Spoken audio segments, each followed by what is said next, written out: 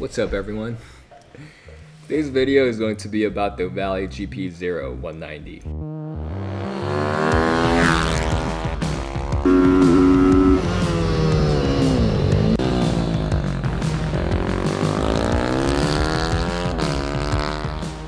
Just getting back from uh, Adams Motorsports Park again. Uh, went out this time with the Ohvale 190 and a couple other minis and just had a blast as usual. If you haven't heard of the Ohvales yet, they're an Italian manufacturer that makes race bikes for kids, but it's gained a lot of popularity amongst adults and professionals for them to train on.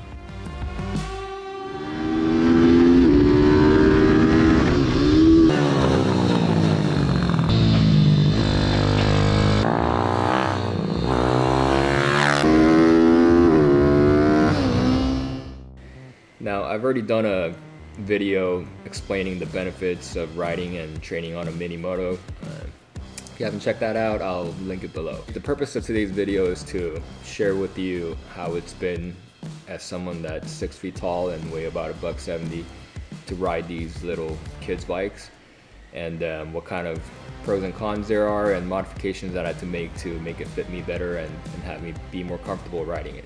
And I'll just go over, you know, my experiences with it so far and, and um, just kind of show you the bike and, and go from there.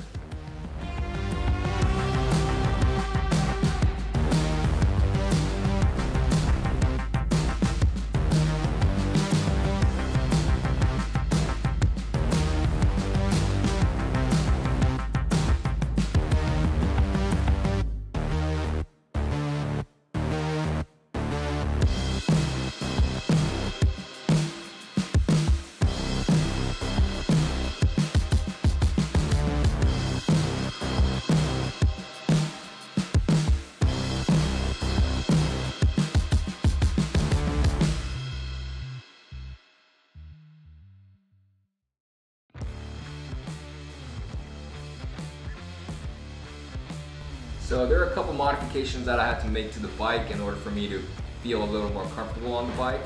Uh, the first one being the clip-on position or the handlebar. The stock position is angled as such and when I tried riding the bike with the with the clip-on at an angled position like that, my knee was hitting my my arm or my elbow, especially with the suit on, it adds a few inches to to the kneecap. So anytime I was in a tuck position and I had to swing my leg out, it would get caught on my elbows. So I had to swing the clip-on out almost perpendicular to the bike, uh, which added an incredible amount of leverage to an already sensitive motorcycle and now it just feels like it's very, very twitchy uh, going into the corners or changing directions. But that's a compromise that I had to make um, in order for me to just be able to freely move around on the bike.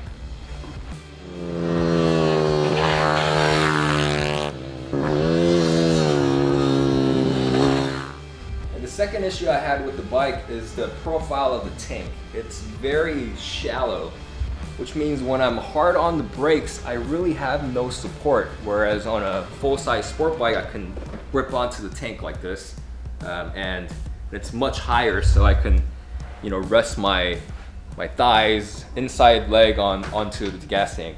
Um, so in order to fix that, I added these stomp grips. Uh, they actually didn't sell any for the Ohvale, so I just bought some universal grips and, and cut them up and kind of made my own. And, and now it, it, helps a little bit. Um, it's still very difficult being hard on the brakes, especially because these bikes have so much power. Um, and you have to apply a lot of front brake in order to get these things to stop.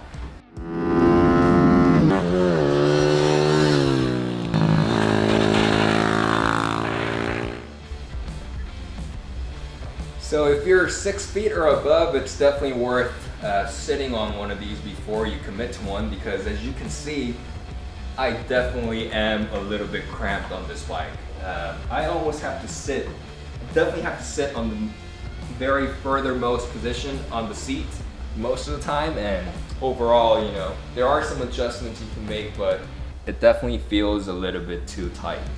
Now, with the newer models and 12 inch wheels and, and a couple inches bigger frame, uh, I, am pretty sure I'm, going to fit it a lot better, but uh, given this year models and, and uh, this size, uh, you do have to make some compromises.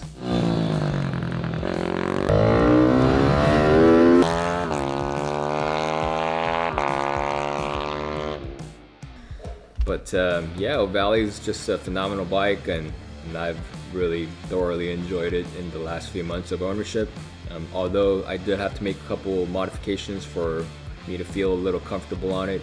You know, it, it is a very small bike um, with very aggressive ergonomics, and I'm six feet tall, weigh about a buck seventy, so you know it's it's been challenging trying to get comfortable on it, but I'm I'm just now getting in the groove. So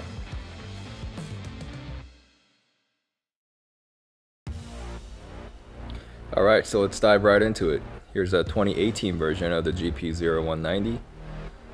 I have all the bodywork removed because I'm about to do a top end rebuild as part of the 40 hour maintenance. There's a beautiful trellis frame and subframe, similar to the ones found on Ducatis. There's a 190cc four-stroke motor, billet adjustable rear sets with the HealTech quick shifter, this trim came from the factory with Öhlins rear shock and Andreani cartridges. Now this older model came with the small 10 inch wheels instead of the 12s found on newer models. It's wrapped with the PMT slicks, it's a carburetor with pod filter, CDI, billet triple tree, clip-ons, oil cooler mounted up front. 33 millimeter inverted forks with dual piston front brake caliper, EVR slipper clutch, it's kickstart, it's rear brake caliper. Yeah, it's a purpose-built race bike, so there's not a whole lot going on, which is nice.